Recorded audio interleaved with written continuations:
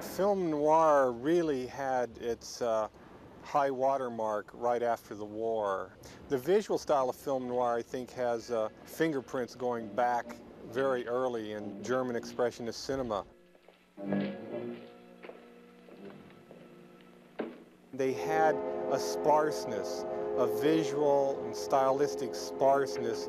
You know, what's the bare bones story? What are the bare bones facts of the characters?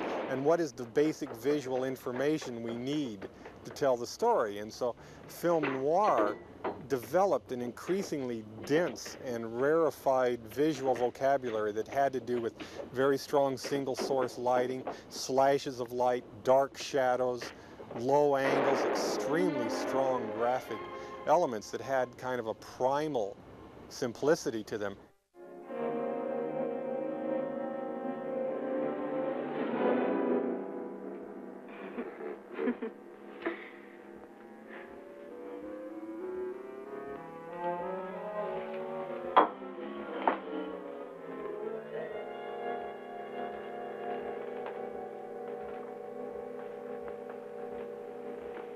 Weren't expecting you, Mildred, uh, obviously.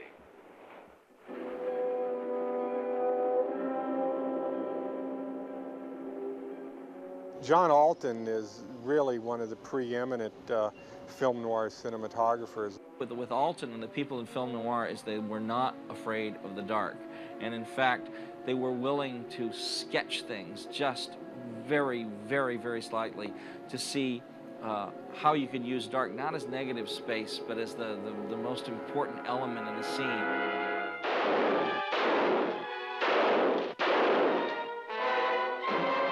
We all have been influenced by that in terms of what's important are the lights that you don't turn on. Go! Alton did one picture particularly that, that I feel was very influential called The Big Combo, which uh, uh, is a very simple, uh, inelegant film uh, that is somewhat brutal in a way, but which incorporates these very sparse lighting elements and, and graphic elements so that it is very much black and white. There's very little gray in that movie.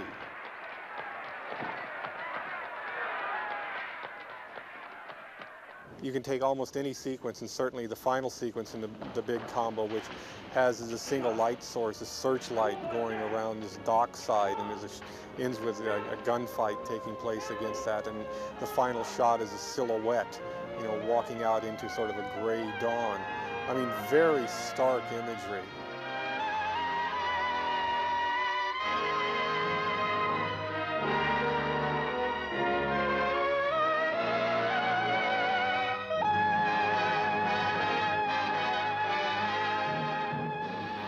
End up at the end of the noir period with a film like Touch of Evil by Orson Welles, which was enormously baroque and complex in its style, but was still basically a film noir. Told you I brought you up here for a reason. Here was Welles who had caused to be brought to Universal Studios one of these Eclair Cameflex lightweight European cameras. He had a very enthusiastic young operator named Philip Lathrop. And Lathrop got very into hand-holding this and, and working with Welles on these, these, uh, these compositions. And you see some of the scenes and you realize how much hand-holding was done in the film, but it's extremely seamless.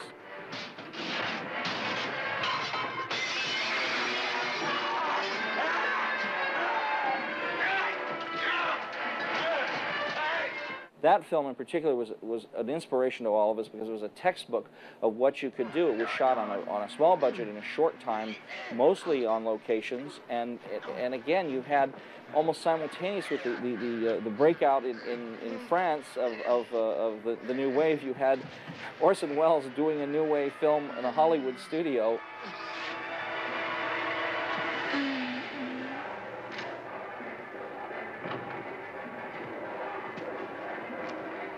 and I think it's continued to be an inspiration to a lot of filmmakers.